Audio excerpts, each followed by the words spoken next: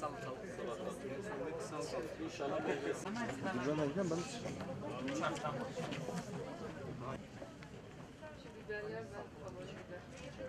Kendi ektikleri ürünleri yerle yetiştiriyorlar.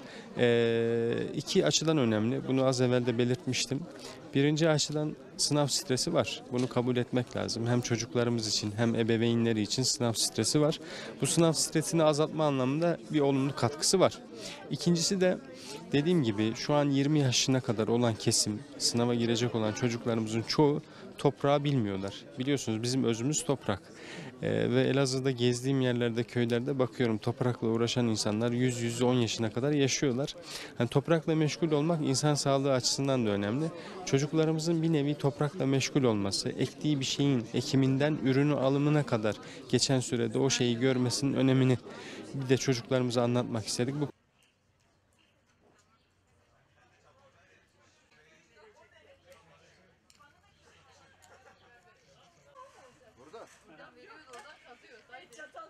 Bu projede amacımız e, çocukların sınav stresinden uzaklaştırmak, gelip burada eğlenceli vakit geçirmesini sağlamak.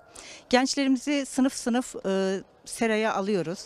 Serada domates, biber, patlıcan, e, salatalık yetiştirmek istiyoruz. Zaten gördüğünüz gibi ekimi de yaptık. Öğrencilerimiz burada çalışırken çok eğlendiler.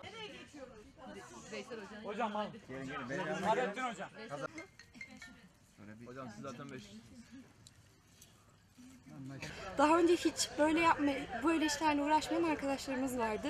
Ben de onlardan biriyim ve e, kendi ellerimle ektim, kendi ellerimle suladım. Çok büyük bir aktivite oldu benim için.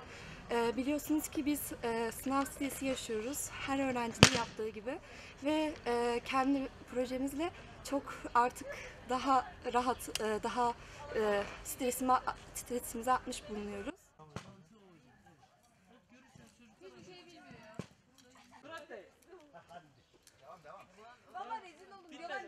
Gracias.